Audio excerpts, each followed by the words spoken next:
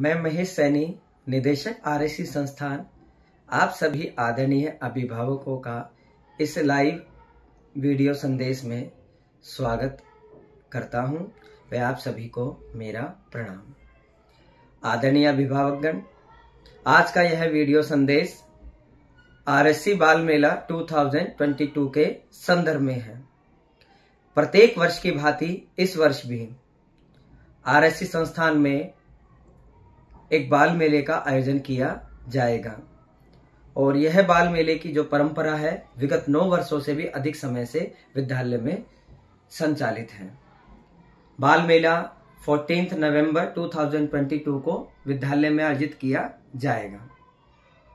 मैं आपको बाल मेले से संबंधित संपूर्ण जानकारी इस पूरे वीडियो मैसेज में देना चाहूँगा और इसे आप अंत तक अवश्य देखिएगा।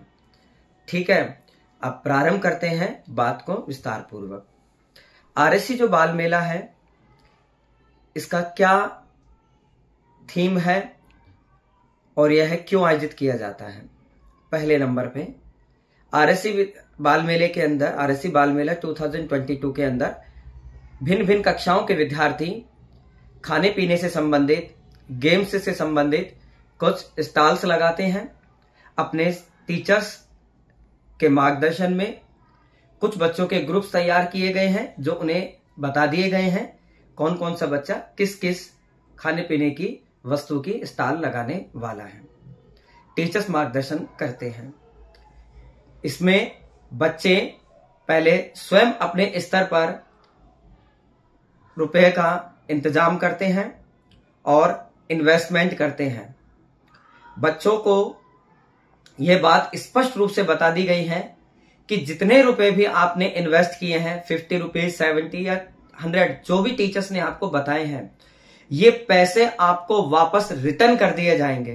कितनी अच्छी और खूबसूरत बात है कि आप लोगों को स्टॉल लगाने में मदद की जा रही है। आप पहले अपने हैंड से आप उसमें इन्वेस्टमेंट करेंगे और साथ में जो इन्वेस्टमेंट का पैसा है, आपको वापस से आफ्टर टू डेज़ लगभग सिक्सटीन नवंबर को स्कूल की तरफ़ से रिटर्न भी कर दिया जाएगा। अब क्वेश्चन उठता है कि बाल मेले लगाने का फिर उद्देश्य क्या है? मैं आपको बताना चाहता हूँ। इसके कई उद्देश्य हैं। पहला उद्देश्य है कि स्कूल का उद्देश्य है बच्चों के अंदर आपसी सहयोग की भावना को बढ़ाया जा सके। सामाजिक मूल्यों को बढ़ाया जा सके। समाज के अंदर ऐसे व्यक्ति जो ऐसी खाने पीने की चीज़ों को मार्केट में लगाकर अपना जीवन यापन करते हैं। उनके प्रति बच्चों के अंदर एक सकारात्मक भाव हो, उनके प्रति समाज में उनके योगदान के प्रति बच्चों के अंदर भी उन एक भाव पॉजिटिव भाव पैदा हो, इस इस मंशा के साथ इसका आयोजन किया जा रहा है। और एक अंतिम चीज़, इस बाल मेले के अंदर बच्चों को अपनी किस प्रकार से सेल की जाती है वस्तुओं को, उससे संबंधित ज्ञान दिया जाता है। किस प्रकार से बच्चे परचेज करते हैं सामान को, किस प्रकार से अपने एक बजट के अंदर, एक नियमित बजट के अंदर किस सामान को जो उनके लिए उपयोगी है, उसे सीखने की कला आती है बच्चों में। यानी सामाजिक मूल्यों में वृद्धि होती है, बच्चों का विकास होता है मानसिक रूप से, सामाजिक रूप से।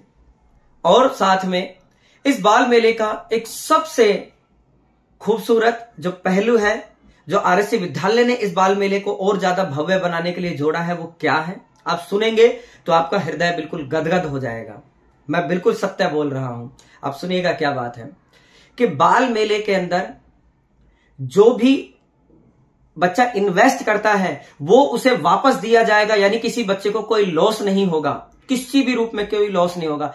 तो पेरेंट्स निश्चिंत रूप से बच्चे को वो पैसा दे सकते हैं, जो बच्चे को ने मांगा है, वो आपस से रिटर्न कर दिया जाएगा। लेकिन साथ में कोई ऐसा बच्चा, जिसको अगर बाल मेले में उसके स्टॉल लगाने में कोई नुकसान होता है, उसकी भरपाई मैं स्वयं करूँगा तो नुकसान किसी को नहीं होगा। और अगली बात, इस बाल मेले के अंदर जो इनकम होगी, जो भी इनकम होगी, जो बचत होगी, उस बचत का पंद्रह प्रतिशत फिफ्टीन परसेंट जो पैसा होगा, वो उस स्टॉल लगाने वाले ग्रुप को बांट दिया जाएगा आपसी रूप में। फॉर एग्ज़ाम्पल हंड्रेड रुपए की बचत हुई तो 15 परसेंट पंद्रह रुपए होते हैं, उस बच्चे को दे दिया जाएगा। यानी इन्वेस्टमेंट का पैसा भी रिटर्न कर दिया जाएगा और साथ में जो बचत होगी, उसका पंद्रह प्रतिशत भी बच्चे को दे दिया जाएगा। अब बाकी पिचासी प्रतिशत का क्या होगा? बाकी जो पिचासी प्रतिशत रुपए हैं, वो सभी स्टाल के जो बाकी का पैसा है, उसे संकलित करके गायों को गौशाला में चारे की व्यवस्था की जाएगी, पशु पक्षियों के लिए दाने पानी की व्यवस्था की जाएगी, साथ में गरीबों को अन्न की व्यवस्था की जाएगी, क्योंकि आरएससी संस्थान आरएससी आरएससी संस्थान श्री राम रसोई का भी, श्री राम रसोई अन्न सेवा का भी संचालन करता आ रहा है। विगत कुछ महीनों से। तो उस पैसे में जो बचत होगी, उन सभी पैसों को संकलित करके और उसमें मेरे द्वारा और सभी शिक्षकों का कुछ आंशिक सहयोग मिला करके और गायों को, गौशालाओं में पशु पक्षियों को, गरीबों को, अन्य इत्यादि की व्यवस्था की जाएगी। ये साथ में बच्चों को ज्ञान का ज्ञान, बच्चों के सामाजिक मूल्यों की वृद्धि, साथ में बच्चों का एंजॉयमेंट खान पान और उसी के अंदर ही पुण्य कर्म भी जुड़ेगा। उसमें आप सभी की भी सहयोगिता रहेगी।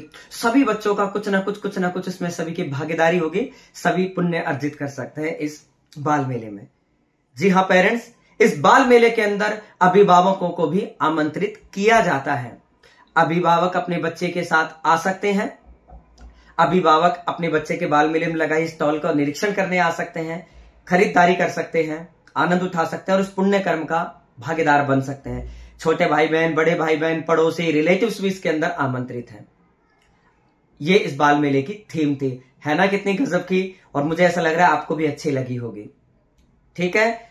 अब आगे जो अंतिम बात थी, उसकी तरफ़ चलते हैं। इस बाल मेले में बच्चों को बता दिया गया है कि इन्वेस्टमेंट कितने रुपए का करना है, वो वापस मिल जाएगा। तो वो आप लोगों ने दे दिया होगा बच्चों को। साथ में बच्चे उस बाल मेले में आकर के खरीदारी करेंगे, खाएँगे, पिएँगे। उसके लिए भी एक निर्धारित की गई है राशि। वो निर्धारित क्या की गई है? कक्षा एक से लेकर के कक्षा चार तक के विद्यार्थियों के लिए पचास रुपए निर्धारित किए गए हैं। कक्षा एक से चार तक के विद्यार्थियों के लिए पचास रुपए फिफ्टी रुपीज़ निर्धारित किए गए हैं। और क्लास फिफ्थ से लेकर टेंथ तक के बच्चों के लिए सेवेंटी रुपीज़ निर्धारित किए गए हैं। क्लास फिफ्थ से टेंथ तक के बच्चों के लिए फिफ्टी रुपीज़ फिक्स किए गए हैं। इन्हें आप कल अवश्य रूप से अपने बच्चे को दे करके भिजवाएँ आप। ठीक है? तो फ़र्स्ट से फोर्थ के लिए फिफ्टी रुपीज़ और फिफ्थ से टेंथ के लिए सेवेंटी रुपीज़ सेवेंटी रुपीज़ ठीक है?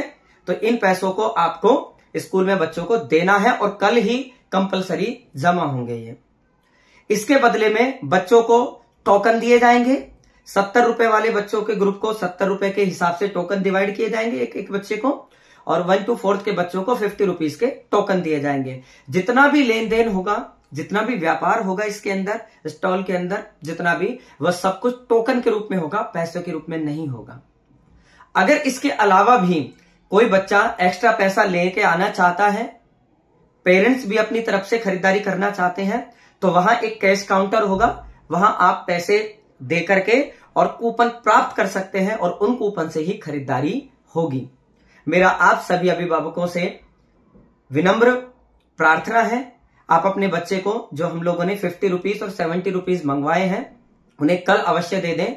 इससे हमें एक डिजिट पता लग जाएगी। और ये सभी बच्चों के लिए कंपलसरी रखा गया है। इसमें कोई वो, वो न, बात नहीं है। सभी बच्चों के लिए कंपलसरी क्योंकि एक नेक काज के लिए है। आप सभी सादर आमंत्रित हैं। आरसी परिवार इसी प्रकार के नए नए आइडियाज़ के माध्यम से अपने बच्चों का विकास करता है, सामाजिक विकास करता है, बच्चों में एक सहयोग के भाव को व्यक्त करता है और पुण्य कार्य अर्जित करता है।